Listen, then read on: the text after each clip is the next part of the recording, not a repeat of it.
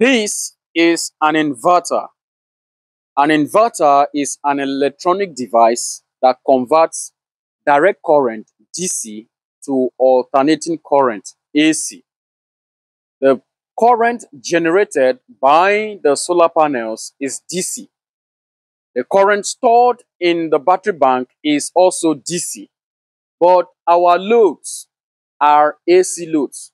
So how are we going to power these AC loads with DC power that is stored in the battery or from the solar panels? So that is where the inverter comes in. So the inverter is connected if this is our battery bank, positive, negative. We have the positive terminal and the negative terminal. And this is our inverter. It is connected between the battery bank and the load. The load here is uh, AC. So if we have AC loads and we have a battery bank that is DC, we need something that will convert this DC energy that is stored in the battery bank to alternating current so that we'll be able to power our loads just like we are using the generator or power from the grid to power the loads. So this is where the inverter comes in. So uh, we have the input side of the inverter and the output side of the inverter. The input side of the inverter have two terminals, the positive and the negative, as you can see here, the red and the black. The red stands for positive, while the black stands for the negative. So, uh, this is where you connect your input from the battery bank, positive, negative. Now, when the DC input enters this inverter, what is coming out, the output is AC.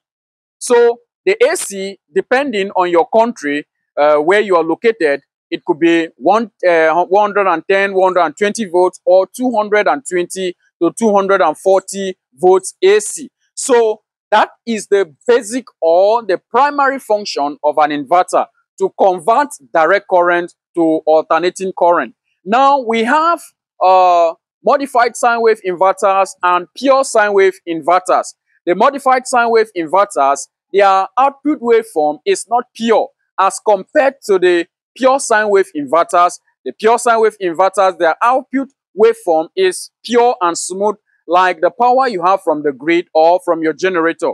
Now, there are some basic appliances or electronics that will not run smoothly when you connect them to a modified sine wave inverter. And most times, uh, those uh, appliances may even get bad because the output waveform of the inverter is not smooth. So those appliances or those loads will not function or work, work well if you connect them to uh, a modified sine wave inverter. Now, in terms of cost, the modified sine wave inverter is far cheaper as compared to the pure sine wave inverter. Now, if you have a 1000 watt modified sine wave inverter and a pure 1000 watt pure sine wave inverter, the pure sine wave inverter, the cost of the pure sine wave inverter will be very high at times times five of uh, the cost of the modified sine wave inverter. Now, when you are connecting your battery bank to the inverter, whether it is pure sine wave or uh, modified sine wave, you need to look at the DC input voltage. That is the nominal system voltage of that inverter. It is the reference voltage that the inverter have, and this voltage must match with the voltage of your battery bank. So let's assume this battery bank is uh, 12 volts, just like this inverter. It is a 12 volt inverter. You can only connect this 12 volt uh, battery bank to a 12 volt inverter. If you have a 12 volt inverter, you cannot connect it to a 24 volt uh, battery bank because uh, they are not compatible. And the 24 volt battery bank is higher than the DC input voltage of the inverter and it can destroy the internal circuits of the inverter. So you need to look at your DC input voltage. What is the uh, what is your battery bank voltage? If you have a 24 volt uh, inverter, it means you need to size your battery bank to give you 24 volts. If you have a 48 volt inverter, you need to size your battery bank to give you 24 volts. I mean a 48 volt so that you can connect your 48 volt inverter to the battery bank. Now for the output, you also need, need to look at the, the, the output voltage in your country. Are you using 240, uh, 220 volts, 230 volts, 240 volts? Are you using 110 volts? Now, another thing uh, you need to look out for when you are choosing an inverter is to look at your total uh, load consumption, the power consumption of your loads, the power rating of your loads. For example, if you have uh, a television that is rated 50 watts, you have a fan that is also rated 50 watts, you have uh, maybe a home theater that is also rated 50 uh, watt, and you have, uh, let's say, a small blender. A small blender is small, and it's also rated 50 watts. Now, for you to choose the size of inverter that will be able to power this load, you need to sum all these loads. You need to, you know, uh, look at the total power rating of all your loads. So if you have more than this load, you have to take all of them into consideration because you may ask, what can an inverter power? An inverter can power small appliances like your phone charger, your laptop charger, to larger or bigger appliances like your microwave, uh, your oven, your uh, what's it called, your water heater, and other large appliances. The inverter can power them. You only need to choose the size of inverter that will be able to uh, power or run your loads. So you need to know or calculate the total power rating of all the loads you'll be connecting to the inverter. So for this one, the total power rating of the loads is 200 watts.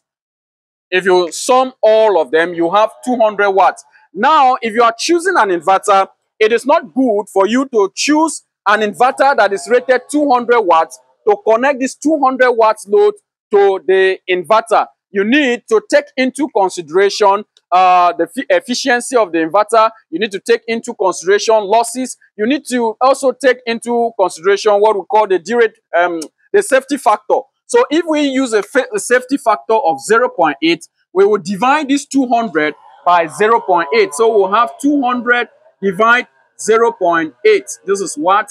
This will give us 250 watts. So this will be the size of inverter we will use to power this 200 watt load.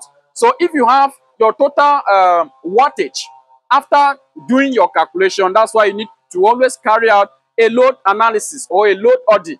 If your total load is 1000 watts, you divide it by 0.8. What you have will be the size of inverter that you're going to choose you know, to power your load. So these are the things you need to take into consideration when you are choosing an inverter. This one is a modified sine wave inverter. You can see how small it is. But if it is pure sine wave, this is 1000 watts. You can see it here. It is 1000 watts inverter, modified sine wave, and it is 12 volts. But if you bring a, 12, um, a pure sine wave inverter that is rated 1000 watts, the size the inverter will be far bigger than this one. I will not be able to hold it like this.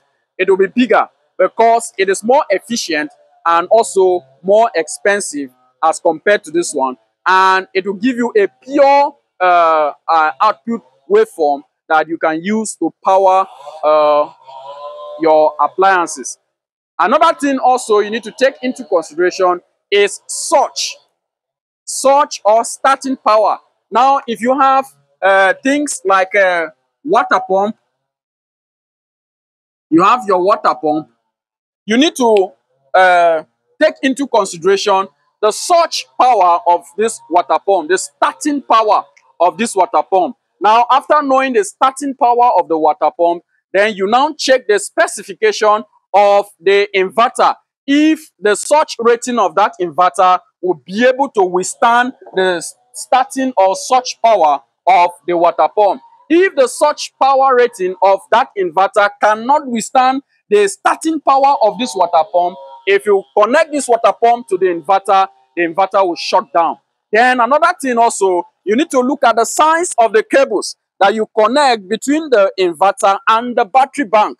The size of cables should be able to, you know, carry the amount of current that will be flowing through those cables. If the cables are not large enough to carry the current, when you switch on that inverter and you connect your loads to that inverter, the inverter can also shut down even when your battery bank, the state of charge of your battery bank is 100%. Even when that battery bank is fully charged. But because the size of cables you are using, they are not large enough to, you know, accommodate or carry the current that is flowing through them from the battery bank to the inverter, the inverter will shut down. And at times the cables will become hot and the inverter will be sensing high temperature and it will shut down. So it is always good for you to properly size your solar components so that the solar system, the solar power system will function efficiently. Now, if you need uh, PDFs on step-by-step -step, uh, guide on how to size a, a, solar power system, you can check the link on my description, on the uh, description of this video to, you know, download the material and use for your consumption. Thank you for watching. See you in my next video.